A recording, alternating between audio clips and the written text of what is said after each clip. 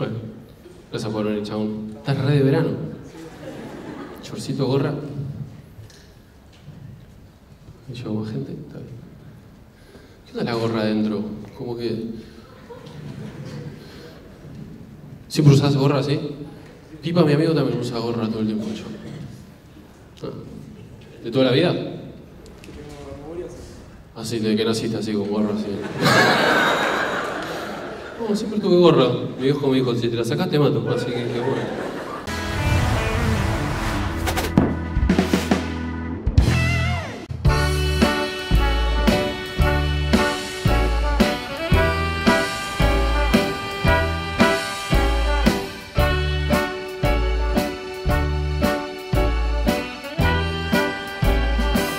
Start spreading the news. Bienvenidos a Blogcito de Stand Up número 19. Sigo acá en Nueva York. Vamos a ver un poquito de lo que pasó en la fusión de Morón, que salió increíble también como la de San Miguel. Así que vamos a hacer un blogcito solo de la fusión de Morón. Disfruten. How you doing?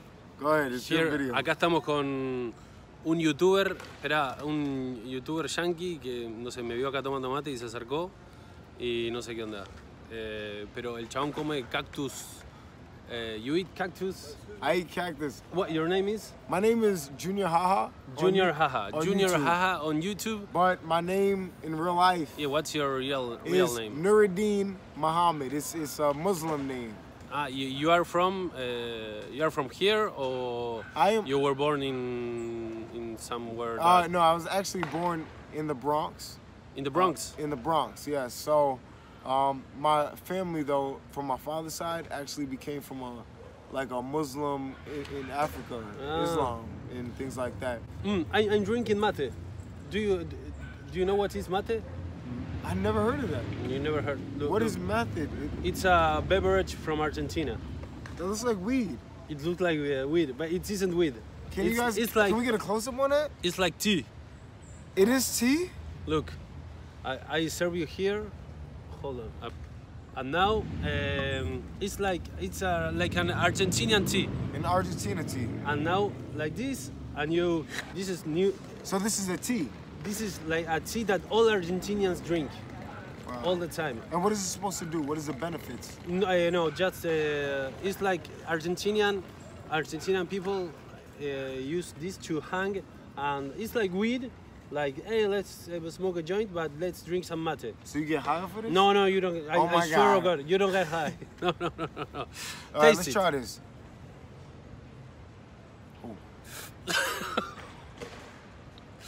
Mm. The first time it isn't good.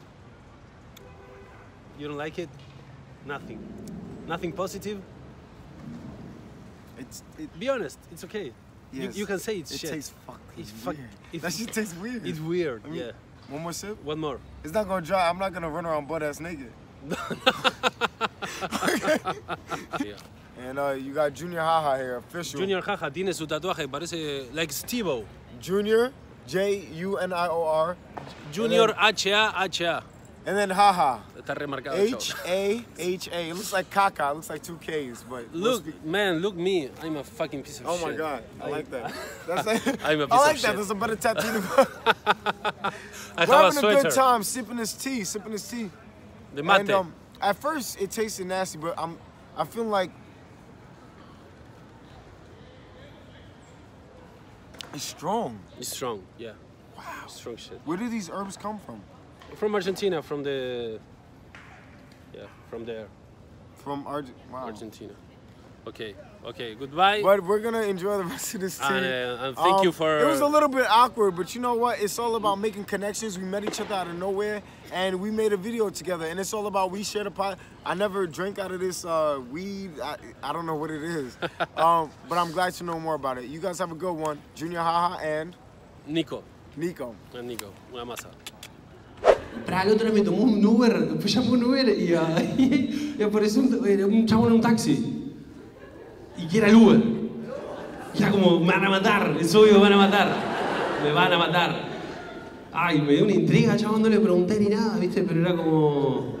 Y no prendió el relojito y tenía el coso ahí. Yo digo, ya aparecer un tachero, me mata a mí y a, y toda la familia de él y a toda mi familia. ¿Sabes una vuelta, iban un- ¿alguna vez tuvieron una charla así con un tachero? Así larga y que se pone interesante. ¿Alguien o no? Y te quedas charlando. Una vuelta, yo, una charla re interesante y, y como que frené el auto y, y apagó el motor el chabón. Y nos quedamos charlando como si fuésemos amigos. Y ahí me terminó confesando que mató un chabón. Te juro, boludo. Me dice, ¿sabes que yo tiré un río un chabón una vuelta? Sí, mirá, ¿y pasó algo? Nadie se enteró. Ah. Soy la única persona que sabe. Yo bueno, gracias por contarme. Me sentí especial, pero por otro lado tipo, soy... Ir en cara, claro. Ojalá que al tachero no lo, no lo agarre, porque si no voy en cara yo, chaval. Aparte lo estoy contando frente a un montón de personas. Pero bueno. Esta es una de las pizzas más famosas de Nueva York, Angelo's Pizza, así que vamos a chequear qué onda la pizza yankee.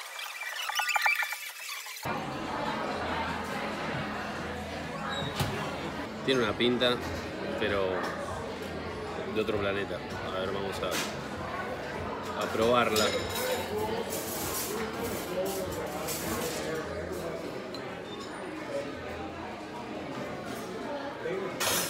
Mm. Mm.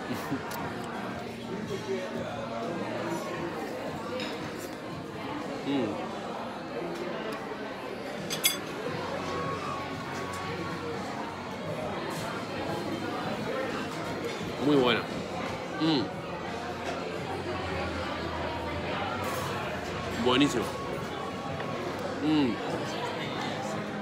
Qué rico, chabón.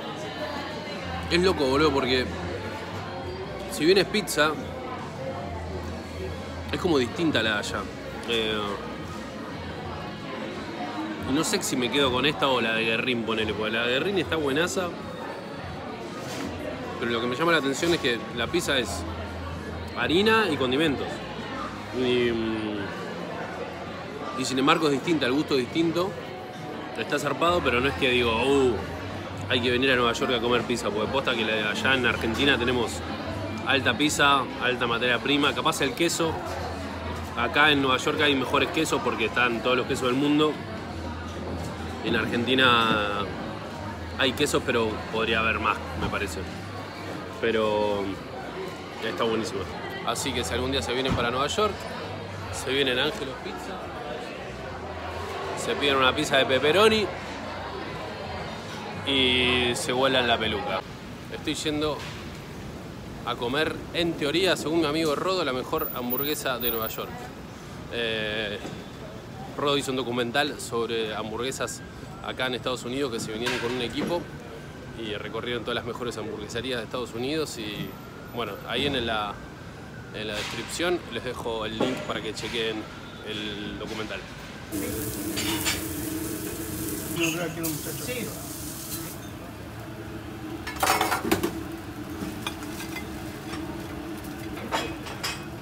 Gracias, eh. Mira qué es esto, guacho. Qué masa.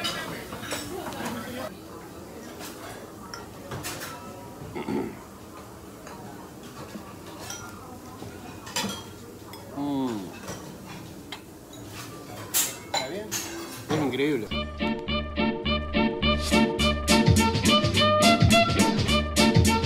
Bueno, joya, che. Espera, ¿dónde está el, la gente de Tuzangó? Que...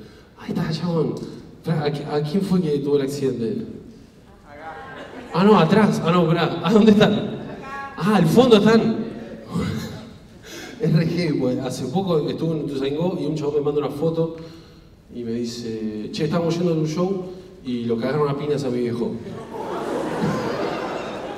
Y me mandó una foto del papá todo cagado a palos. Yo dije, como que el chabón dijo, espera, le mando la prueba, porque si no, no nos devuelve la guita. Que estuvo bien igual, porque no le iba a volver la guita, pero... y está el viejo así todo golpeado, el chabón. Re heavy, pero ¿qué pasó? ¿Cómo fue la historia? Quisimos pasar por un piquete. Quisieron pasar por un piquete. ¿En serio? No, fue culpa tuya, porque para ir a verte nos cagaron a trompa. ¿Sabes que yo tengo esa, esa fantasía de, pero qué onda si me mando por el piquete? Ah, no, te matan, claro, te cagan a palos y te rompen la nariz. Uy, chabón. Bueno, pero bueno, qué bueno que vinieron. ¿Y cómo está la nariz? ¿Bien? ¿Sí? ¿Impecable? Mejor que antes, ¿viste? Como, no, la verdad me vino bien el piquete. Le mandamos una carta de agradecimiento, la verdad. Estuvieron muy bien. Señores piqueteros, mi nariz está mejor que nunca. Che, bueno, gracias por venir, chicos, en serio. ¿Y cómo es tu nombre, maestro? ¿Que le- que te- que- que- qué lesión- ¿Te hicieron alguna lesión o no? Sí. Me cagaron a tropada. No. Es el diagnóstico del doctor. Yo tengo doctor, mira, te recagaron a palo. Pero tengo algo, mira, te cagaron a palo en la nariz. Ese es el diagnóstico. No, está bien, no, a ver si te había quedado una secuela, preguntaba, pero no está. ¿Cómo? Igual me ayudaron porque cuando me pega el primero que me estoy cayendo, otro me ayudó a levantarme de una patada. Ay, no escuché una verga, la puta madre. Todos se rieron y fue gracioso, pero yo no escuché nada. Obvio cuando pasa eso. ¿Qué, hay- qué- qué- qué- ¿Habrá alguien que, haya, alguien que haya escuchado? Vamos, decirlo de vuelta si querés. Pobre, chavo, yo no hablo más. No, no decirlo de vuelta. Le decía que cuando me pega el primero Sí, y estoy cayendo, sí. otro me ayudó y me levantó de una patada. ¿En serio? No, chabón. ¿Por qué lo que es tan violento es gracioso, boludo? ¿Por qué lo más violento, violento que escuché en el año? Pero es gracioso. Onda, te estabas cayendo, viene un chabón y hizo, ¡se cae! ¡Pam! ¡Ah! Boludo. Esperá, ¿y, y- y tu familia estaba en el auto? No, ya, ya habíamos bajado para ayudar. Bajar, claro. Esperá, y él la ligó, a ustedes no les hicieron nada. Ah, Nos separamos. Ah, nos fuimos separando, sí. chabón, qué verga, boludo. Te da una bronca cuando pasa eso. A mí una vuelta me cagaron a piñas también. Yo fue que a contar la historia, pero. Cuando yo tenía 15 años más o menos, estaba operado de la rodilla. Bueno, perdón, me iban a operar en marzo, esto era Navidad. Y veníamos caminando, no, tenía 14, 13, veníamos caminando con mis amigos, re tranqui nosotros. Navidad, 12 de la noche en Mar del Plata. Estábamos yendo a Lem, que era como el lugar donde están todos los bares, y estábamos yendo caminando, estábamos a 15 cuadras, ponele, y pasan unos recoteros, así, fanáticos de los redondos resarpados. Y pasan y empiezan a gritar en la cara, ¡Vamos los redondos! ¡Vamos los redondos! ¡Ya cantá! Y yo hacía como, ¡Vamos los redondos! No sabía qué hacer, ¿viste? Y yo, vamos los redondos, qué sé yo. Y lo pasamos y yo dije, bueno, buenísimo. Y un amigo hizo, como que se, rió un poquito, un poquito se rió. Y, yo escucho que uno dice, ¡se rió! ¡Vamos a matarlo! Yo me iban a operar de la rodilla en marzo, yo no podía correr, pero no podía correr, no es que si quería y, y- empezaba a correr, como que miro, en- vi ricoteros corriendo para matarme, miro mis amigos picando, digo, ¡fium, fium! y yo hice así y empecé como, "Ah, ah, ah", pero así, puesto porque tenía un problema de rodilla, y nada, me cagaron a palos, 40 ricoteros, así, pegándome, pa, pa, y terminé tirado, y vino un chabón de una garita, y lo sacó, ricotero, ¿saben? Y, y me salvó la vida, pero fue un garrón y me fui a dormir. Me acuerdo, era como, oh, el boliche, no, ya me cagaron la pila, ya está.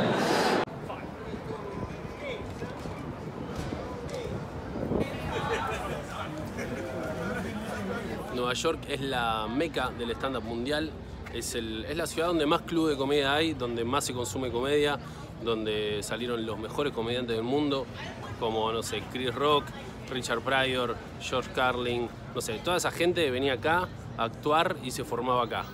Algo muy loco que está pasando ahora es que te dan esto, que es como un sobre donde vos pones tu teléfono.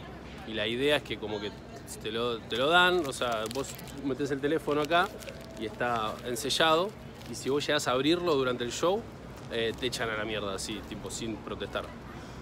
y el objetivo de esto es que, claro, que la gente no filme, porque hay veces que vienen eh, comediantes a probar material, y claro, el material cuando está probándose, eh, la gente, obviamente los comediantes, lo, peor que te puede pasar es que suban material tuyo que todavía no esté terminado, porque es como subir, no sé, la canción de...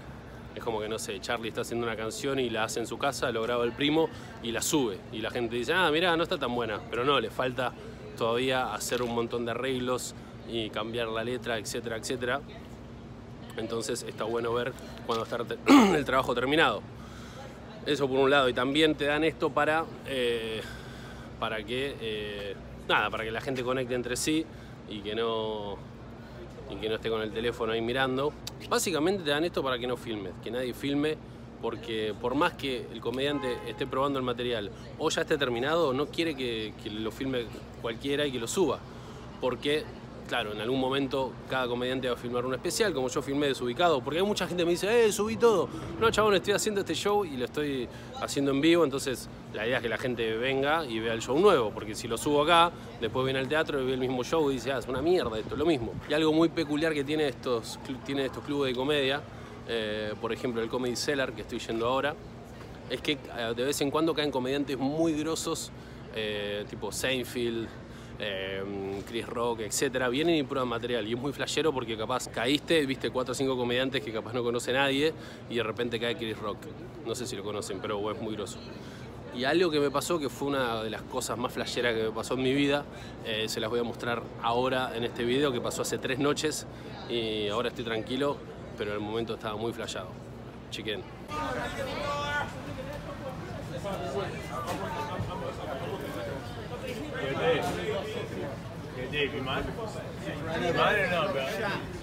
Estaba en el Comedy Cellar y apareció Dave Chappelle. No sé si no lo conocen, pero es uno de los mejores comediantes de la historia. Y vino a probar unos chistes el chabón. Y nada, lo acabé de ver y estoy flashado mal. No sé si se dan cuenta, pero lo que es para mí esto, chabón. A la gente le gusta el fútbol es como ver a Messi. Guacho. Dave Chappelle, chabón. La puta madre, no lo puedo creer. Estoy flashado, men. No, no, pero. eh, estuvo una hora el chabón hablando, haciendo stand-up. Vino a probar material. Estoy feliz. Uy, boludo. Nada. Eh... Chabón, no lo puedo creer. Dave Chappelle que ya estuvo una hora así. Uy, boludo. Estoy uno de los mejores momentos de mi vida. Así que era para que sepan. Eh, bueno, chao, voy a dormir. Son como las 4 de la mañana. Chao. Estás embarazado, ¿no? Ah, buenísimo. ¿Sabes que yo tenía una profesora de historia y, y le dije, ¿cuánto estás? Me dice, no, soy así. Me. Y obviamente no eh, recursé dos años. Ah, no recursé, pero no probé la materia durante un año y medio. ¿Y de cuánto estás?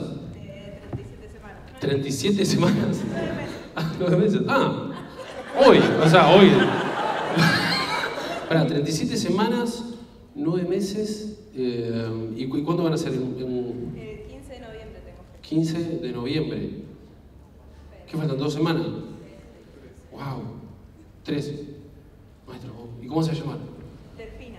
Delfina. oh. ¿Y, y qué onda? eh, ¿Onda si te reís, ponele? Hace- Dos preguntas, no sé, capaz que si le da a comer algo, Se mueve. se mueve. Está como. ¿Está bien?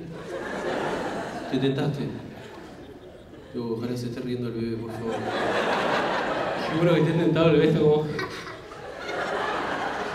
Tocándose la pancita, como. Ah, qué bueno. ¿Saben que ah, dicen que, dormimos en posición fetal porque queremos, como, como que cuando dormís en posición fetal es como porque querés volver a la panza de tu mamá? ¿Sabían eso? Me lo dijeron hace poco. Estás como, ah, quiero volver. Es el mejor lugar del mundo. Te dan de comer y estás como, ah, todo calentito. Escuchas música, risas, ah, están comiendo algo. Y de repente salís como. ¡Qué verga! ¿Te imaginas volver así como? Ser re loco. De un líquido sale una persona. De un líquido sale una persona. Perfecto, sí, está muy bien lo que dice. Sí, como. Es re loco, chabón. Mirá lo que soy yo, salido de un huascazo ya. Mirá esto. Esto era huasca. ¿Cómo puede ser? Es perfecto el ser humano. Es increíble. Esto era huasca. ¿Se imaginan? Sale eso solo. Me sacan de contexto. Esto era huasca. ¿Qué quiso decir el chavo? Acabaron la panza, no. Eso solo, así, se viraliza eso solo. Esto era huasca.